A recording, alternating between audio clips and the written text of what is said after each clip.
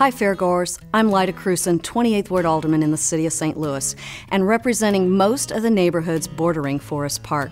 I'm thrilled to welcome all of you to Fair St. Louis 2014 in this beautiful and historic new venue.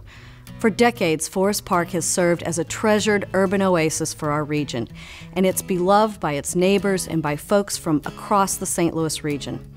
It's wonderful to see such an incredible event being hosted in such a remarkable place. As you enjoy all the festivities and entertainment that Fair St. Louis 2014 has to offer, please be respectful of the park and its neighbors.